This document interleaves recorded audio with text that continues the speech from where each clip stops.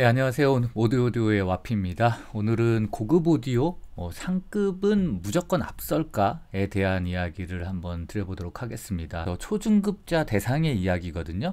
어, 좀 더 쉬운 예를 들기 위해서 어, 바이크와 한번 비교를 해보도록 하겠습니다. 나름 바이크에 대한 경험치가 조금은 있기 때문이죠. 일단 여기 야마하 R1이라는 1000cc 레플리카 바이크가 있습니다. 양산급 바이크 중에서는 최상급인데요. 어, 지금 기준으로도 이 구형인데도 굉장히 엄청난 성능을 가지고 있거든요. 자, 이 바이크를 입문자에게 공도에서 키를 전해줬다라고 하면 어떤 결과가 나올까요?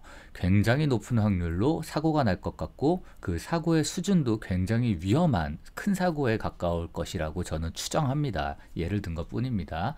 자, 오디오는 이렇게 안전과 달, 안전과 결합되는 부분은 아니에요. 뭐 잘못하면은 뭐 앰프 하나 정도 좀 나가는 정도지 뭐 어, 오디오 갖고서 큰 사고는 일어나지 않기는 합니다만 이런 부분을 예시로 드는데 거리감은 있으나 예시로 들 수 있을 만큼 어, 까다롭거나 어려울 수 있는 것이 플래그십 혹은 어, 상급 기종들 그 중에서도 굉장히 몬스터급 어, 이런 제품들이 될 수 있다라는 말씀이기도 합니다. 자, 제가 R1과 같은 브레, 바이크 브랜드의 플래그십 바이크를 선호하시는 분들이 가장 선호하는 분들이 누굴까라고 생각을 하면요. 저는 어, 2종 소형 면허가 없는 분들 그리고 스쿠터를 타시는 분들 125cc 미만을 타시는 분들이 확률이 가장 높다라고 생각합니다. 저 또한 당연히 그런 125cc 미만의 바이크를 타다가 순차적으로 밟아 올라간 케이스인데요. 제가 600cc, 1000cc 바이크를 탈 때 생각했습니다. 옆에 지나가는 스쿠터를 보고 말이죠. 아, 저게 동네 마실 다닐 때는 저게 훨씬 편한데 네. 안 써봤을 때는 그런 생각을 못했어요. 아, 진짜 멋있다. 정말 빠르다. 부 하고 나가면은 정말 와. 주말에도 저 차 타고도 가끔 가다 배우면 되게 부럽거든요. 근데 제가 정작 거기에 올라타 있을 때는 클러치 때문에 왼손이 빡빡해서 무겁기도 했고, 어, 때로 한 번씩 아찔해서 아우 정신 조금만 못 차리면은 진짜 골로 가겠다 이런 생각이 들 만큼 위험하기도 하고 주변에서 뭐 바이크 카페 이런 데서 한 분씩 좀 안 좋은 일이 있었다는 소식도 들리기도 하고요. 이런 게 있을 때마다 아 좀 더 라이트한 그런 어 기종으로 옮기는 게 낫지 않을까 생각하면서도 그 엄청난 무서움에 따르는 설레임 이런 것들이 있기도 하고 또 그때 젊은 저는 나름의 멋을 좀 추구했던 것이죠. 그래서 어, 할리까지 할리 데이비슨 같은 어, 기종이 또 마음에 들었던 쪽은 아닌 때여서서 그런 게 힘들면서도 그쪽을 추구해 나갔던 시절이 저에게 있어서 예를 들어봤습니다. 자, 그럼 레플리카를 동네 마실에는 스쿠터가 최고인데 서킷이나 유명산 같은 곳을 간다고 하면은요.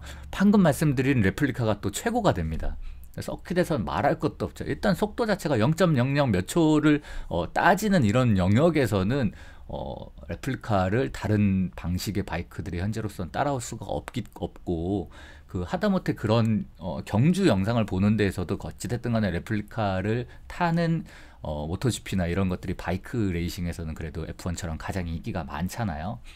그런 것처럼 좀 보기에는 되게 좋고 뭔가 최고를 추구하는 데 있어서는 그쪽이 좋은 게 분명히 맞기, 맞지만 결국에는 환경에 따라 음, 시청이 아니라 내가 직접 운영한다는 개념에서는 내가 어떤 환경과 또 나의 어, 운전 스킬 운영 능력이죠. 이런 부분이 어떻고 나의 취향. 어 나는 어 천천히 경치 보면서 어 쿵쿵쿵쿵쿵쿵 거리면서 알리 데이비슨 같은 걸 타는 게 더 어울릴까? 그냥 잔잔바리로 동네 이렇게 돌아다니는 일이 많은데 빈번한 움직임을 갖고 있는데 어 그래도 뭐 너무 답답한 건 싫으니까 250cc 스쿠터가 좀 더 맞을까? 이런 것들을 자신에게 어울리는 걸 골라서 들어가야 되는데 우리는 통상 더 멋있고 가장 최고라고 일컬어지는 제품들에 대해서 어떠한 선망과 환상과 어, 기대를 갖고 있을 가능성이 굉장히 높기 때문에 어, 레플리카 바이크라고 하면 레플리카 자동차라고 하면은 뭐 페라리 람보르기니 혹은 F1 이렇게 현실 가능성 선의실보다 조금 더 동떨어지는 있는 부분 굉장히 이렇게 선망한다라고 말씀을 드릴 수 있을 것 같습니다. 그래서 공도는 층간 소음이 걱정되는 어, 공동주택이라고 보시면 될 것 같고요. 랜덤하다는 얘기예요. 어떤 집은 좀 잘 돼서 좀 괜찮고 어떤 층은 좀 괜찮은데 바로 아랫집이 집은 잘 지었는데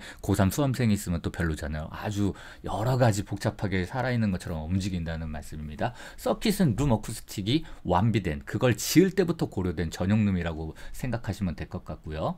어, 유명산 같은 곳들은 이제 층간소음 부담은 없는데 어, 어쿠스틱까지는 룸 어쿠스틱은 고려가 되지 않은 어, 상가 건물 정도로 쉽게 제가 데뷔를 해서 예를 들 수 있을 것 같아요. 레이서 출신의 정말 대단한 경험치를 가진 나를 나름대로 수상도 하신 이런 분들이 있다라고 칠게요. 그분이 리뷰를 바이크 리뷰를 합니다. 자, 알차의 경험이 대단히 많으시죠. 그것도 일반 양산 수준이 아니에요. 완전히 튜닝 개조된 완전히 또 한 차원 더 높은 수준의 기종들을 잘 다루시는 분인 거죠. 자, 야마하는 어떻다고 말씀드리고 혼다는 어떻다고 말씀드리고 가와사키는 어떻고 BMW는 어떻고 또 두카티는 어떻고 할리 데이비슨까지 이분이 말씀하시는 내용 굉장히 정확하고 확실합니다. 심지어 여기서 미묘하게 슬립이 났다. 타이어에 대한 미묘한 상급 타이어들끼리의 차이까지도 아주 정확하게 말씀을 할 수 있는 대단한 reviewer죠. 다 그렇지만 이 부분에 함정이 저는 있다고 생각합니다. 진정한 전문가라면 레이서 강의가 아닌 일반인을 염두에 두고 그것으로 이야기하시는 분들이 진짜 전문가거든요. 근데 이게 전문가라는 부분이 참 재밌어요. 내가 전문가라는 걸 어필하려고 하면요. 더 못 알아들을 얘기로 더 어렵게 최상급자 레이서들끼리도 number one, two, three들이 이야기하는 부분의 이야기를 하면은 아 진짜 생각하지도 못한 부분을 이야기하고 있는 역시 최고의 레이서다 이런 얘기를 듣기가 쉽거든요.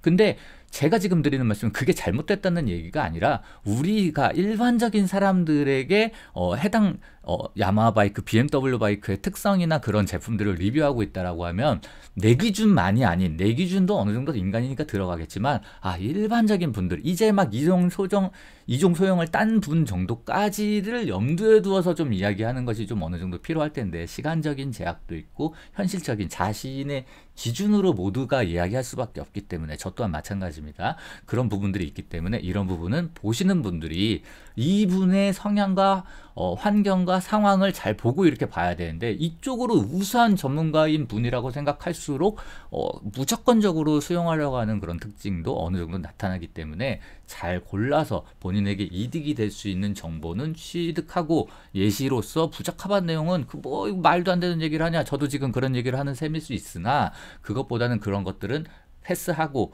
득이 되는 건 취하고 불필요한 내용은 버리고 섭취하는 능력을 가지는 것이 굉장히 중요하다고 생각을 합니다. 그 공도냐 트랙이냐 어, 이런 부분으로 예를 들었고요. 운전자의 실력, 입문자냐 어, 전문 레이서급의 능력을 가지고 있냐에 따라서 많은 것들이 변할 수 있다라는 말씀을 드린 거고요. 오디오를 이제 바이크로 환산해서 마지막 이야기를 드리겠습니다.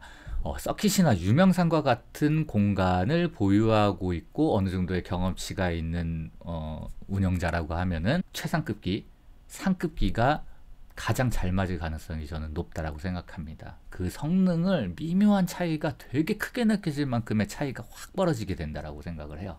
자 그렇다면은 어, 여러분이 공도에서 편하게 기동력 있게 어, 뭘 마이크가 필요하, 필요하다면 모토GP 레이서가 아니라 배달하시는 분이 잘 어울리시는 것처럼 어, 스쿠터가 더 잘 맞으시는 분들이 있을 수 있는 거예요. 나는 최고의 음질로 감동이 되는 눈물을 흘릴 수 있는 음악을 듣겠다가 목표가 아닌 어, 생활 속에서 쉽고 편하게 즐길 수 있는 음악을 듣고 싶다면 아무리 레플리카가 멋있고 할리데이비슨이 멋있다고 해도 스쿠터를 선택하시는 all, all-in-one 같은 그런 제품이라고 보시면 돼요. 뭐, 블루투스 스피커가 될 수도 있고요. 그것도 나쁘지 않다라고 보는 겁니다. 용도가 좀 다양해요. 그걸 쓰다가 아, 내가 이제 음악에 대한 비중이 굉장히 높았다 싶을 때 그럴 때 한번 올라타는 것도 어, 것을 저는 상당히 추천드리고 싶은 거, 고요 그리고 또 인생의 후반부에 어떤 낭만과 멋을 추구하고 있다라고 하면 어, 역시 또 마찬가지로 멋이 나는 레플리카 바이크보다는 뭐 두카티 정도의 F차 정도나 아니면 할리데이비슨과 같은 American 스타일의 어, 바이크를 타면서